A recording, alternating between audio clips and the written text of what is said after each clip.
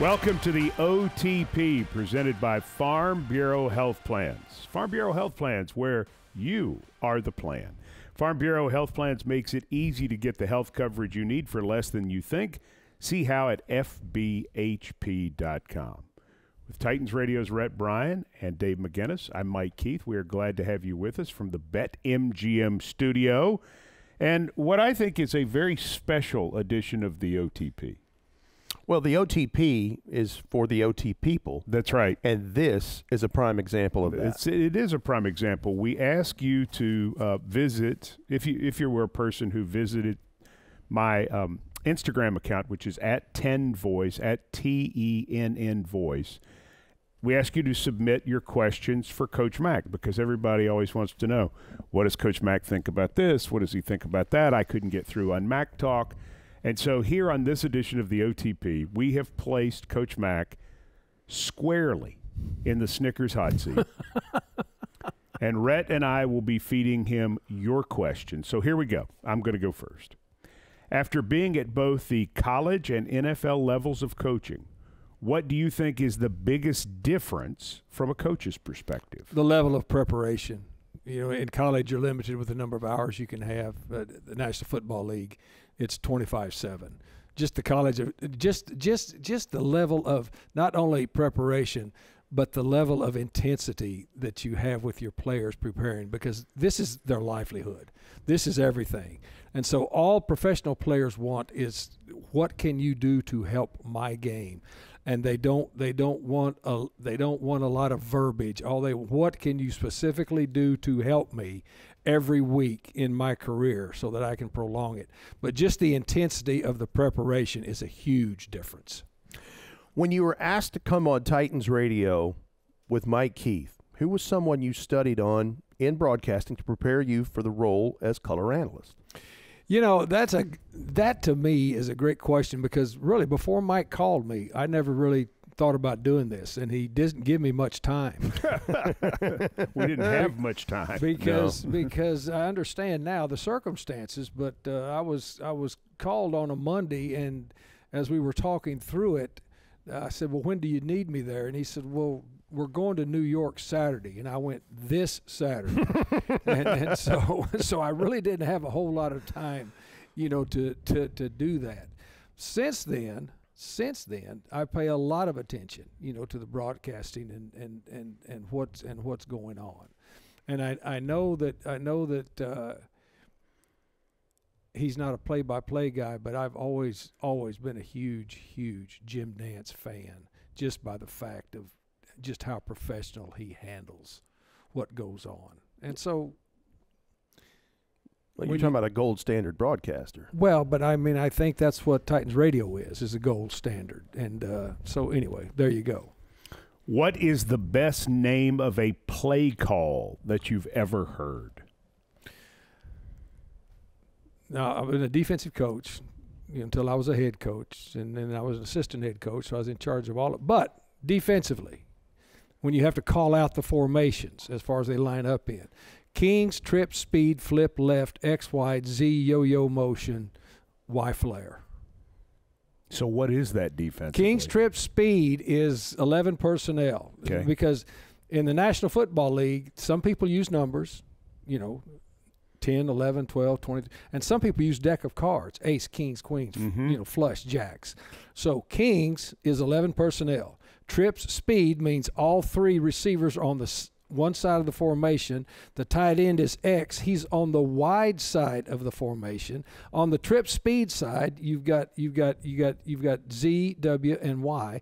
Yo-yo motion. Okay, King's trip speed. You've got yo-yo motion that, that means the inside receiver from the speed side starts to the center and then yo-yos back to get into what we call a nine ball stack on the three receiver side. That's what that is.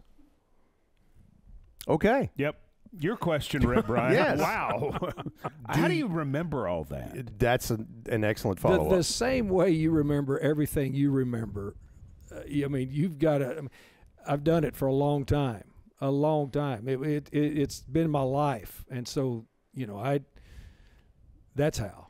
I've been doing it a long time. Same way you and and you've got to. St- when I first went to the Bears, they didn't ask this question, but it was before we had computers, and so you know I was the linebacker coach, but I was also the, the defensive quality control coach, and so the the playbook that we put together to incorporate Buddy Ryan's 46 and then Vince Tobin's defenses, uh, you had to draw it all by hand.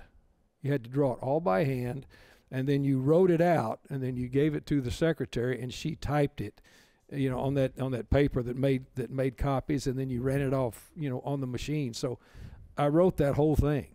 I wrote the whole thing, and so when you do that, you learn it. It becomes that. Say say that again one more time. King's trip, speed, flip left, X wide, Y Y yo yo motion. Isn't that a great example as you repeat that of why young players, uh, rookies, have such a hard time coming to the NFL? Where they don't have play calls, especially the offensive players. They don't have play calls. They never deal with it. They just see cards on the sidelines, and that tells them what to do. That's a perfect example why it it really is. That's got to be brutal. It, it it it really is, and the and that is that's a defensive version of that. You know, being able to talk about like on the headset, what are they doing, Mac? I got I got King's Trip speed flip left. You know, X wide Y. You know, yo yo. Before we had all of these tablets and, and things the West Coast offense is even more intricate than that coming from the offensive side of it. Wow. Mind blown. Mind blown. All right, this one, this is an excellent conversation at OTP to begin with. This is going to raise it a notch. Do you think NFL officiating is getting worse, better, or is it staying the same? Because I listen to you and Mike during Titans games, and I always – agree with your assessments on what's happening on the field. It's not as good as it used to be. It's not as good as it used to be from top to bottom. I, I think uh, you know a lot of the best officials right now are in the television booth, and you've had some really, really uh, veteran officials retire. And so people coming in, it's just like rookie players coming in. They have to learn the game. They have to learn the game, and they only you can't manufacture experience in any profession, but especially in this business because everything is so immediate. And that's why you see so many. And, and when I'm sitting up there with Mike Keith, and I mean he's always spot on with. I mean he can he can call out and tell you what the penalty is and how much they should mark it off and where the ball should be immediately because those are the details you have. And we've seen games as, as to when you know they've marked off 12 yard penalties and there's not 12 yard penalties on a on a 10 yard penalty play. You know, from so just the administration of it, it's not as good as it's been. It's really not. Hey, Titans fans, it's always game on with Dunkin', so grab a coffee and kick off the action. Whether that's drinking a cup of coffee on your way to the game or grabbing one to go before watching the game at home, Dunkin' is always there to help you get your game on. Just like the pros, we need to be at our best come game time, which is why Dunkin' is the most important part of your game day ritual because it's always the best call for football. America runs on Dunkin'. Your questions for Coach Mac, you you submitted them to me at 10 Voice, my Instagram account, and we're passing them on. Titans' immediate football question comes next, as well as Tajay, Tyjae Spears is playing right now. What ways can Tim Kelly keep he and Derrick Henry involved without limiting snaps or telegraphing plays. Pony personnel is what we've seen both in the backfield at the same time and what we call a red set. Uh, you, have already seen that. We saw it a lot, you know, during the practices we get to go to before the season started that we can't talk about, but we saw him doing that a lot, and there and he's using it in a red set, which is a split back set, and and he's he's alternating whether he sets uh, Derrick to the tight side of the formation or to the open side of the formation.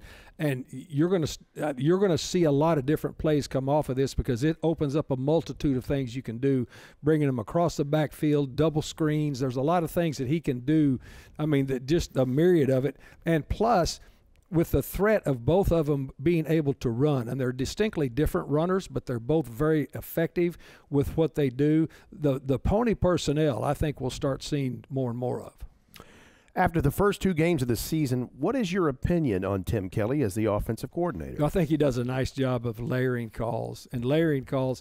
As a defensive coach, you, you always when you when you're you're scouting the, the guy that's calling plays that's your opponent, you want to see first of all if he's layers calls, which means is he building calls one upon the other with his personnel groups, depending on what you've deployed over there on defense, and then is he stacking calls, and then the other part is is he setting up calls because uh, the really good play callers set calls up. In other words, they'll set calls up series by series, set calls up by you know put a put a certain personnel group out there in a certain formation, see how the defense on a down and distance is going to adjust to it, and then come back to something that can counter the way he now sees the defense setting up to that.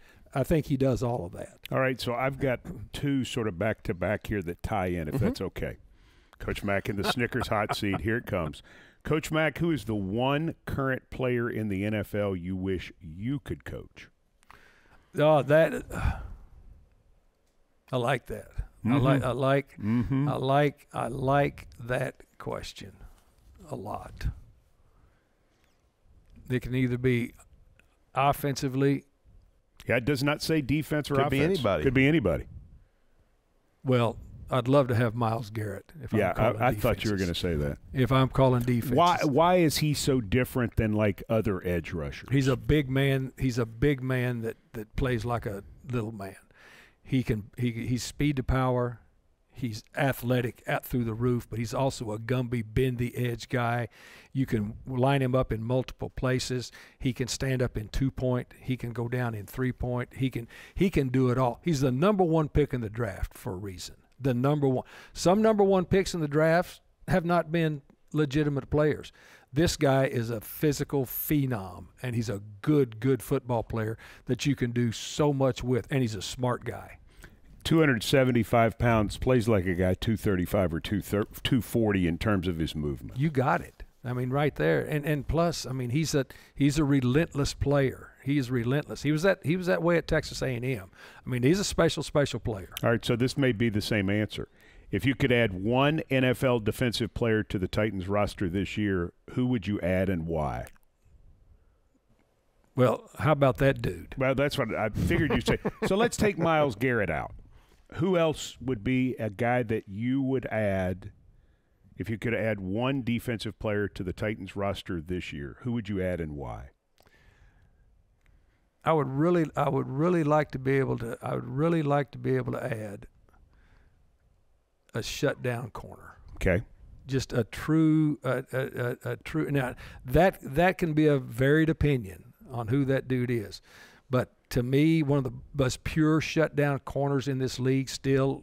Now we're saying if he's completely healthy, is a Jalen Ramsey. Jalen Ramsey. Yeah, and some guy can just because with I had one of those guys in my long coaching career in Aeneas Williams, and I could do anything I wanted with him. And we were in the NFC East at the time, and I could I knew going in game planning against the Cowboys twice a year that I could tell him in that first meeting, Nicky, you've got Michael Irvin, and the rest of the ten of you, here's what we're going to do to try to stop the rest of them you know Emmitt Smith and all that group. But when you have that guy, it's a special feeling as a defensive coordinator when you you're able to do that. All those teams that Deion Sanders played for, that was the guy, and it makes a big difference.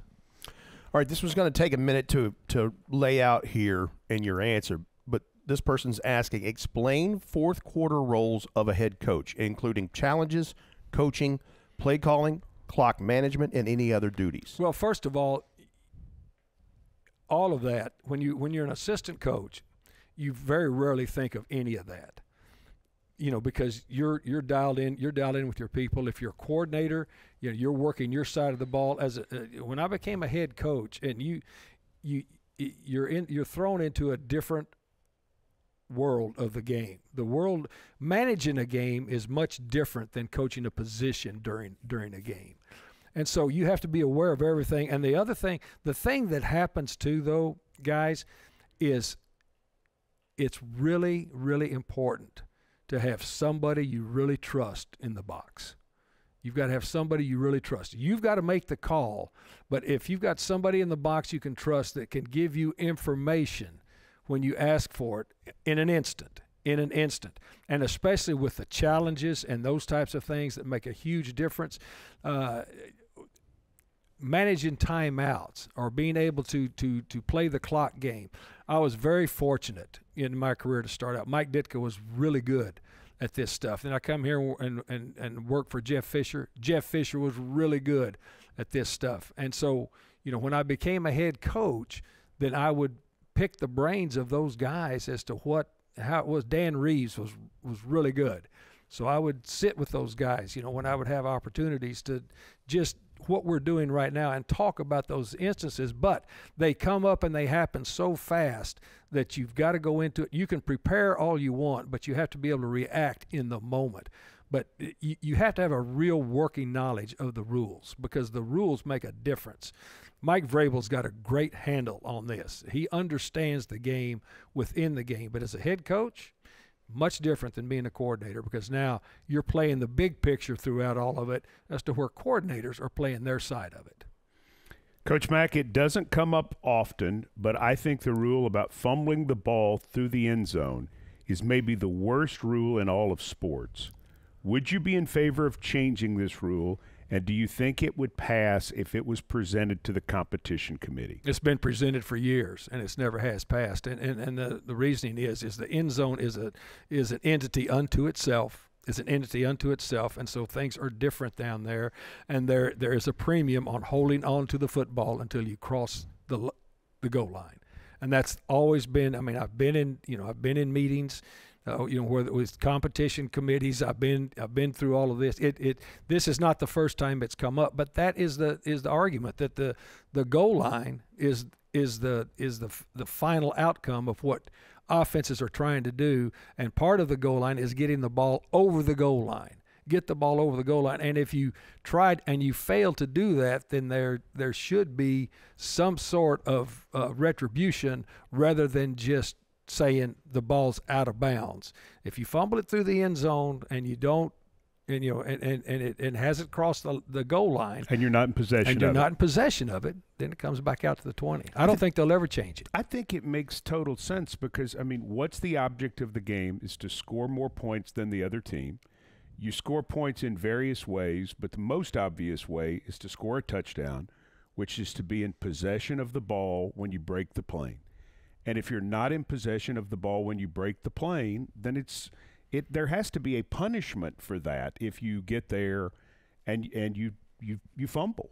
I, I think I, you know, talking to Vrabel, he certainly doesn't ever think it'll pass competition committee no. while he's on there. No, and it sounds like you've been in the competition committee. You know who you sounded like just then? Who? And this is a real compliment. Okay, Mike Pereira. Oh well, thank you. Mike Pereira. By the way, can we shout him out and ho- hope he feels better? Uh, he's what a great, what a good dude, what a great person. And look, you talk about the, the, the officiating that we talked about early on. Oh, yeah. When he was in charge, perfection.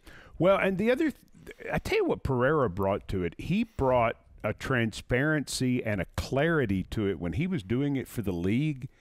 It was, and some of the other guys, Dean Blandino did a good job, but mm-hmm. Pereira was the gold standard because suddenly I mean, th- they were a little bit like the Wizard of Oz. Ignore the man behind the curtain. Sort of. We don't ever question it. We and Pereira took that down.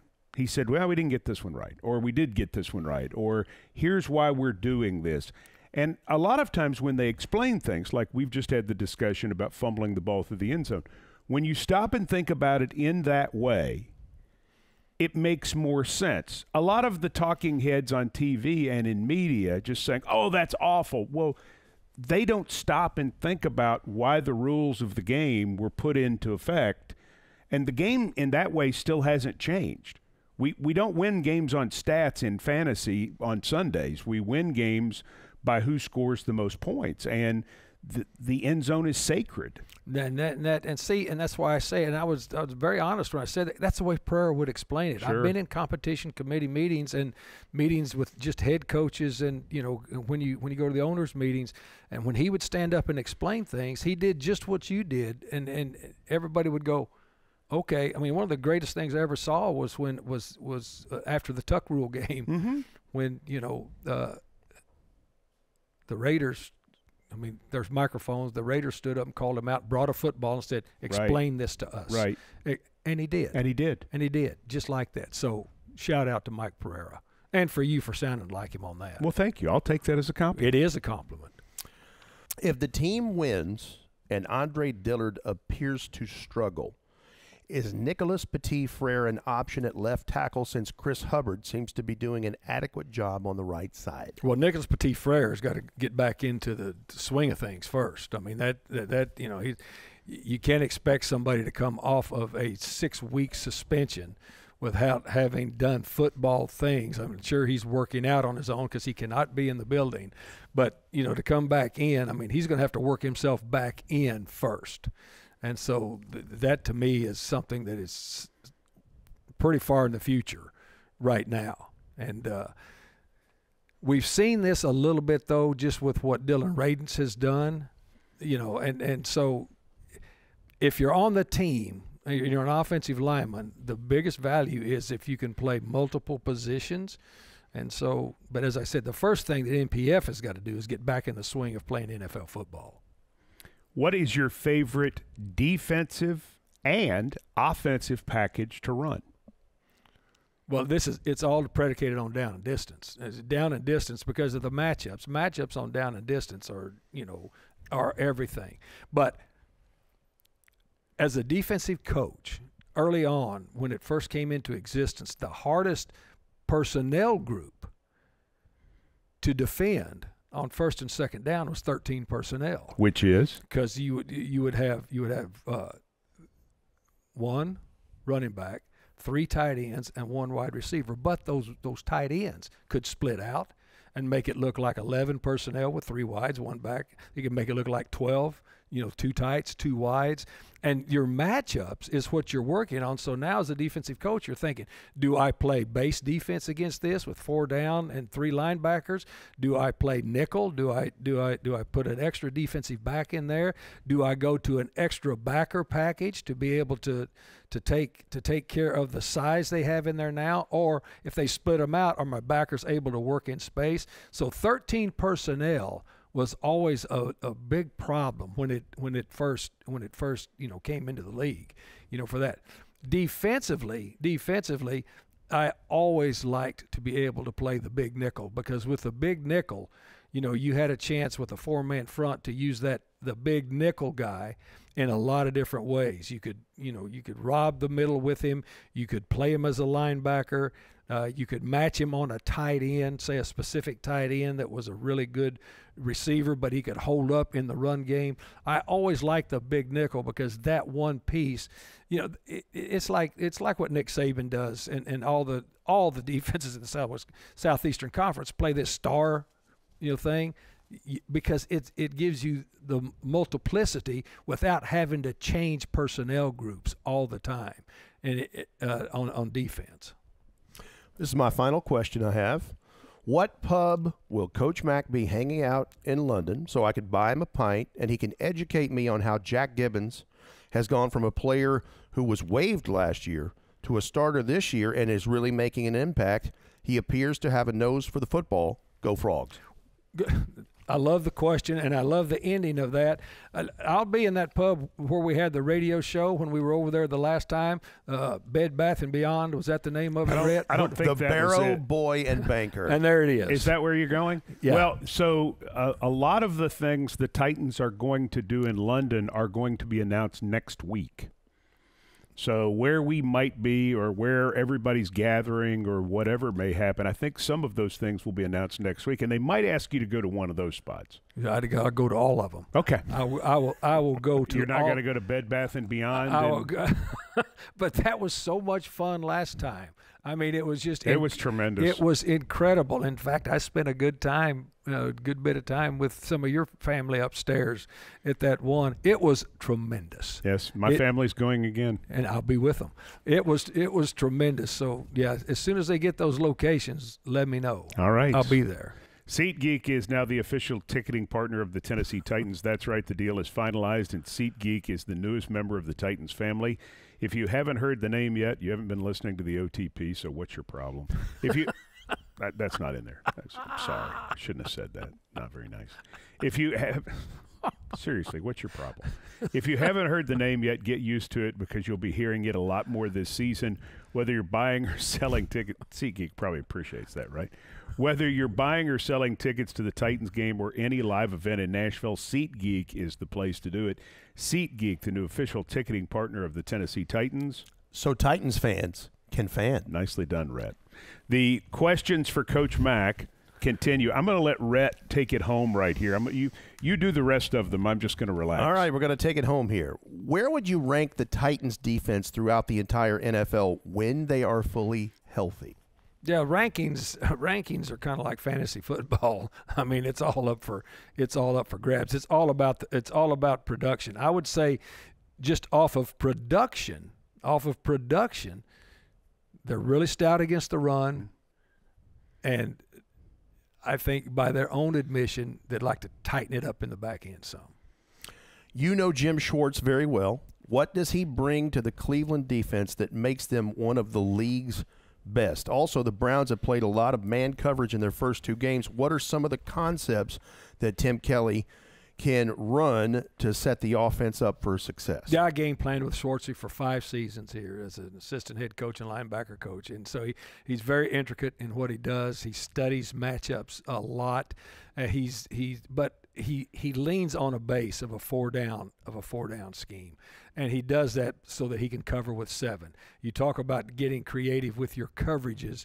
Anytime you can cover with seven over five eligible receivers, you've you've either got three over two and four over three. I mean that's that's what defensive coaches work for. But to get that, you have to be able to take care of the run and the pass with four people up front and not having to bring anybody down. The times where he will get really creative is if he catch if he gets you in third and seven plus, third and eight plus.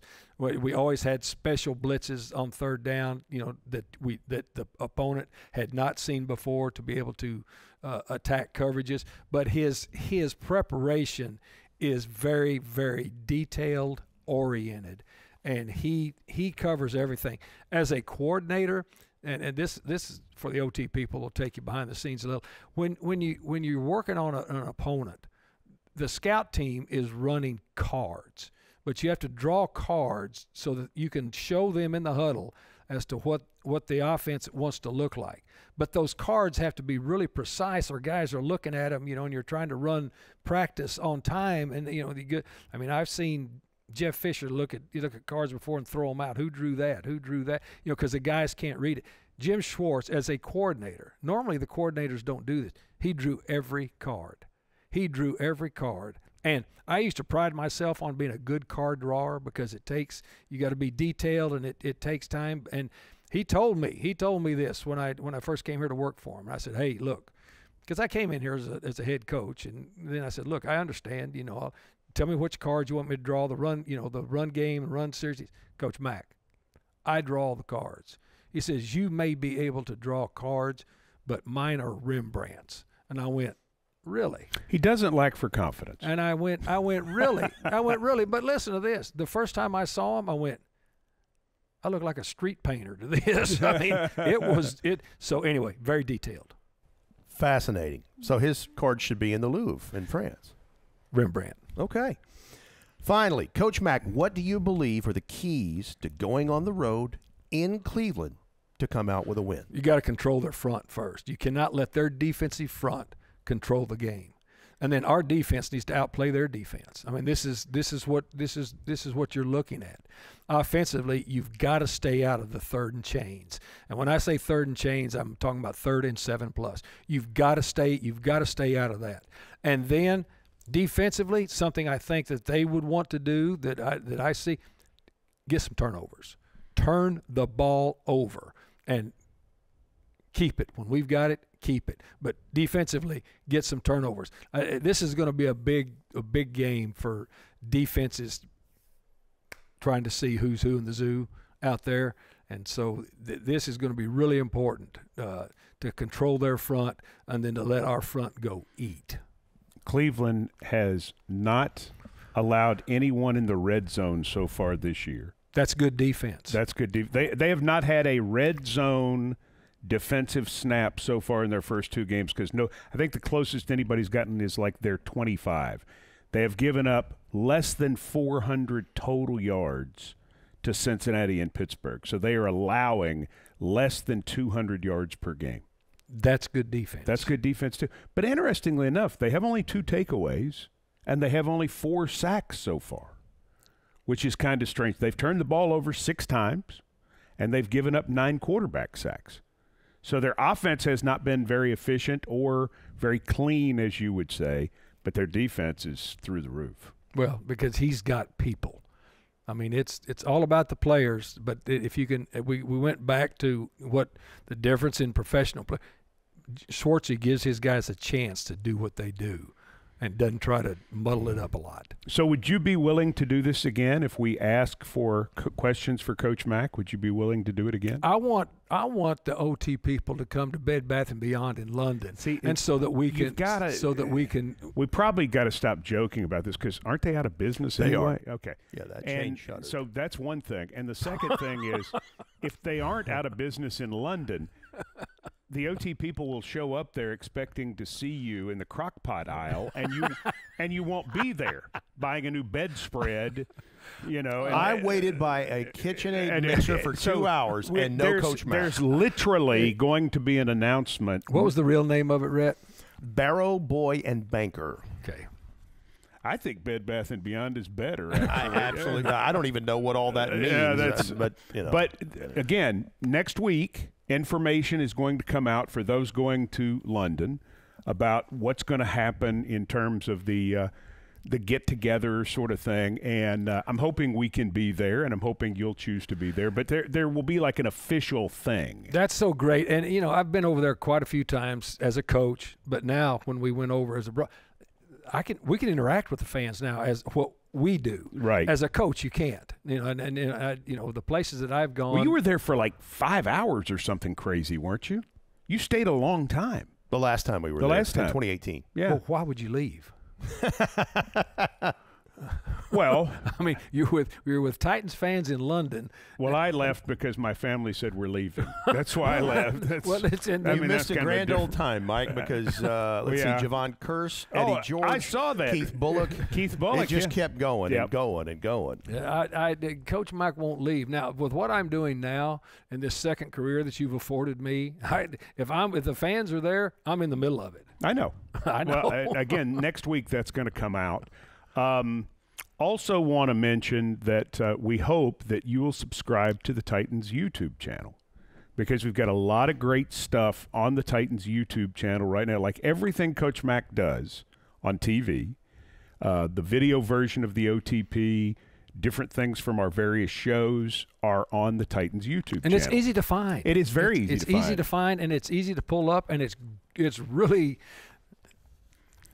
not because I'm on it. That doesn't, but but the production of it's tremendous. It is tremendous. And you can help by hitting the like button when you subscribe and also hitting the notification bell so that you're notified when there's new content, which there is every day. That, there's new stuff every day. Everything we do, I mean, no matter where you are in the world, if you go to the Titans YouTube channel, uh, you can find something new every day that helps you get ready for Sunday or, you know, like some of our, our other outstanding features that we do on, on various things. We'd love for you to for tune in and, and stay up with it. Yeah, and the people over there at Bed Bonkers and Bath can.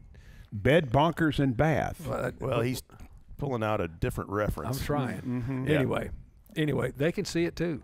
That's right. And that's the thing is we love meeting the international fans when we went to London. And you know now we're going to get at some point we're going to get to go to Germany. That'll happen for us. But Madrid too. That's going to happen. I I'm- saw that I, I'm recently. all for that, and just. I was with the Bears. We went to Gothenburg, Sweden. Nice. Played the Vikings. We went. Was everybody for the Vikings there? you think we went? and We went. We went. we went to uh, Berlin to play the 49ers. We were there for a week. Uh, it, it, it's it's an experience, and, and we had fans all over the place, and and the Titans fans that showed up in London last time was Wow. massive. It was really cool. So, looking forward to that. Looking forward to winning every game we play up until then, and it'll really be rolling. There you go. For Coach Dave McGinnis, who was kind enough to take your questions and sit in the Snickers hot seat. And thank you for the questions, by the way, to the OT people. And for Rhett Bryan, I'm Mike Keith, thanking you for joining us from the BetMGM studio for the OTP.